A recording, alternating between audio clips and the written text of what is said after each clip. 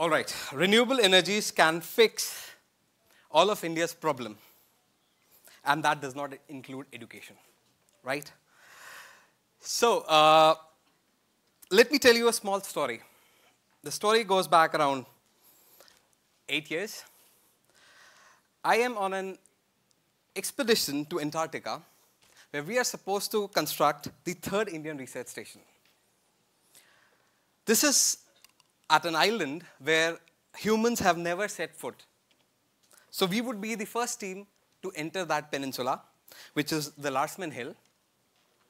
We set on a journey of eight days on this vessel, which is the Ivan Papanin. That was our vessel that took us from Cape Town to Antarctica, where we would be constructing our research station.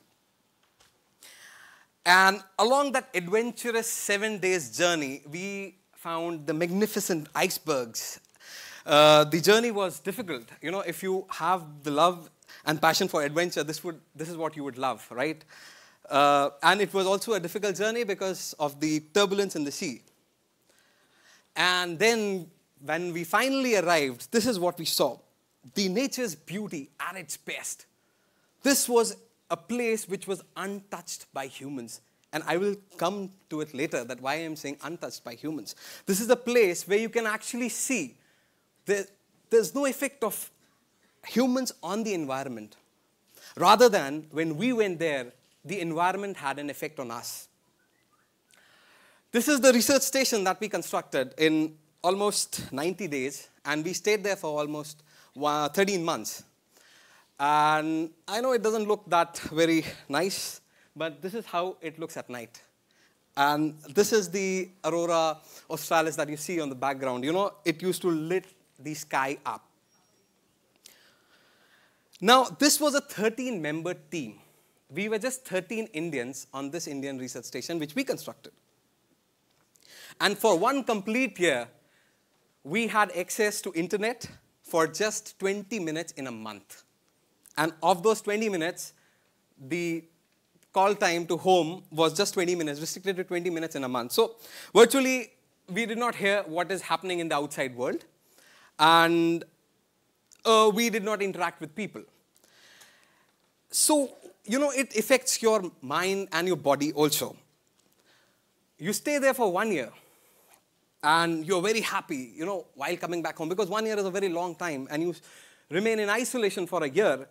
Uh, of course, we did our research there, we did construct the station, we did the troubleshooting, the engineering part of the station, and we maintained the station, manned the station whole year. But when coming back, it, it felt like an achievement. It, it, felt like we have done something great service to the society and our country. So, uh, but then, realizing the fact that we were alone for one year in a place where you don't see humans around, you just see penguins, right? So coming back, uh, we felt that we have achieved something, but the moment I landed on the Mumbai airport, I see this. And I say, oh my God, what are all these people doing there? I thought maybe they are there to welcome us, right? Which they were not, because they were travelers like us, traveling to different destinations, right? And then I thought, okay, fine, yeah, Mumbai is not as it is. I don't like Mumbai, right? Maybe coming back to Delhi because I belong to Delhi. So Delhi is something where people would be, you know, more generous and welcoming. And this is what I see at the Delhi metro. I'm like, where? How did these people come in last one year? I mean, when I left Delhi, it was not like this. Of course, I'm exaggerating. It was like this. Very little changed in a year, but very much, a, a lot of things changed inside me. And then I thought, okay, fine, let's go home. And this is what I find. I mean, you find people everywhere. You find their footprints everywhere. So imagine you are alone on an island for a year and then you come back to this reality. And that makes you wonder what is it? What have we got into ourselves into? It took me almost two hours going from airport to my house, which is just five kilometers from the airport. So the biggest problem that I thought, which I could not contemplate in Antarctica because we were researching on other environmental um, uh, issues, right? There, we were seeing the um, effect of ozone. There were scientists in our team who were uh, studying the ozone layer and the effect of paleontoclimate uh, to, uh, climate uh, that is the climates during the dinosaurs, right? I don't know. I still don't understand that. But still, when coming back, I come back to this reality, and that makes me wonder then what, what are we heading towards? So I do a little research and I find that we are the 18th, we constitute 18% in the world. So 18% is 1.2 billion. We are 7.6 billion of us on this planet Earth. And you know, mind it, this 7.6 billion of us have only arrived in the last few hundred years, like just the last hundred years. We have quadrupled ourselves. So, so many people coming in. And when we say people, we share this climate, this earth equally. So, if there are 7.6 billion of us on this planet, it is seven, the whole resource of the planet divided by 7.6 billion. So, the amount of natural resource that comes to a particular individual has been divided 7.6 billion times. Of course, that's not true because there is inequality. But on an ideal scale, we have a limited resource, that is Earth, and we have an unlimited population that is growing at a rate of 1% every year. So, UN estimates that by 2030, that is when you would be maybe joining new jobs, or if you're sixth, maybe uh, graduating from college, or maybe having starting a family. There would be 11 billion of us. Now, 11 billion people on this small planet Earth where are you going to accommodate so many people? And how are you going to survive? That was the biggest question that I had.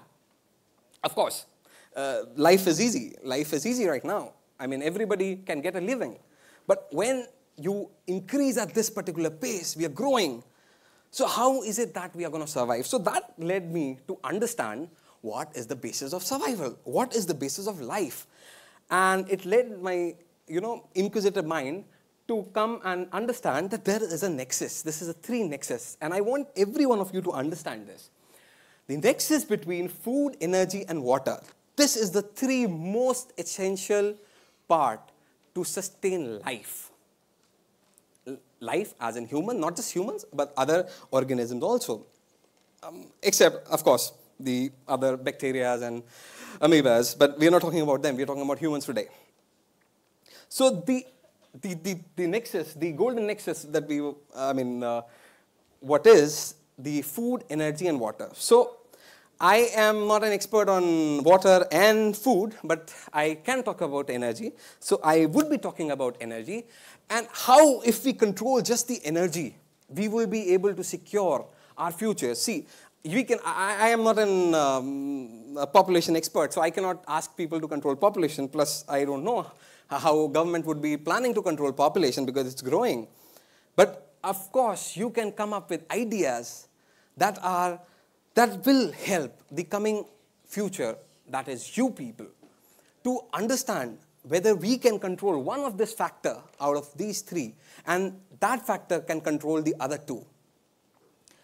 So, if you see food, water, and energy, if you combine all this, we get life, right?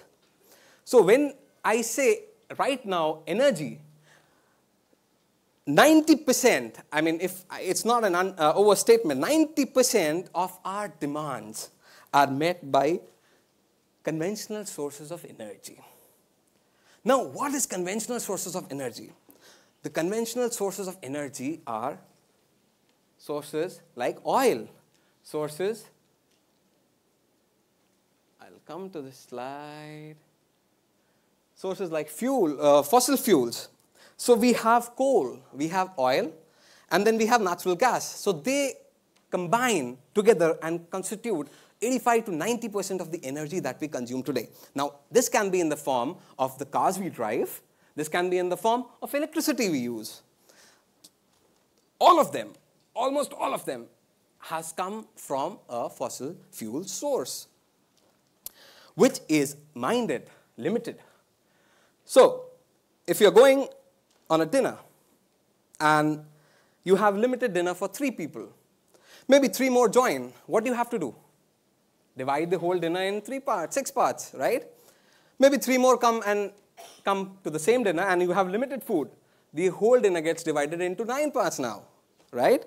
So we cannot keep on dividing the natural resource in such a way that we can feed everybody. So why not go to a buffet, right? So that is going to an alternate source of energy, which is wind, solar, geothermal, biomass. And what are these sources of energy, right? Yeah, even I am a big fan of renewable source. But how can, I mean, what is it with these sources of energy that can, you know, power our generations to come? Because, you know, energy is the basis of humanity. Now, nobody has, you don't have to be, you know, told that sun is unlimited. Of course it is. It rises every day. It comes up every day. And I have made my living just by understanding sun and harnessing power from solar, right? So the technology that is being developed today, windmills, everybody knows what a windmill is. Most of you have seen this, right? But this constitutes only 3 to 4% of our global demand right now. This will change soon, and it is changing. We will have more electricity from the renewable sources. These renewable sources that would power our nation. Because these renewable sources are unlimited. Wind will always blow and sun will always shine. Because that is what this earth is about. If the sun stops, we all are dead. There is no earth without sun. So, why not tap on to the biggest source of energy that we know of that is the sun. And the wind blows because of sun shining. So, alternate sources of energy. It is important. And why it is important for you to understand this? Because tomorrow, when you go and become workers, tomorrow, when you go and you become leaders of this country, you will know the importance of renewable energy. You will know that no longer can we stand and say, okay, you know, this is how it was done in the previous generation. We have to follow what they have done. No. You have to start something new. You have to become leaders. You have to say, fine, if my father did it, let him do. I will start something else. He may be wrong for once. I will do something different. And this renewable source, that is something which will never end. Why not invest? Why not the capital cost may be high, there would be other obstacles. But if you start sanitizing, start understanding about these renewable sources, that is the wind, solar, geothermal, you will slowly learn that the old and conventional ways were right in their time. The newer ways, this is the new you, this is the new India. When you say these sources of energy, today we are for, you know, focusing so much on solar and wind. That is why, why, why are we doing it? Everybody have heard about solar plants coming up on buildings, solar plant coming up of government buildings, solar farms, huge solar farms. I have myself designed, designed so many solar farms and constructed them. How is it happening in such a short span of time in last five years, five to eight years? This is because we need something that stays for long. We need sustainable sources of energy that will not end and continue to power India in the future. So, these renewable sources are the basis and the future. And you, as students, have to understand that. You, as students, have to take the initiative and understand and question not just your parents, everybody, the teacher, that if coal is so polluting, why are we still using it? Why can't we power the whole country on wind and solar? Because when you start asking questions, you'll start getting answers. Some answers you may like, some you may not, and some you will start to get on your own because you would be starting to ask questions and do research.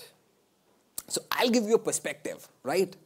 And, you know, just a small, you know, how you contemplate solar. So if I say solar, you see that small little square here, if this, only this square area can be covered with solar panels, you can actually power the whole world. That's like powering the whole world without any uh, coal, oil, natural gas.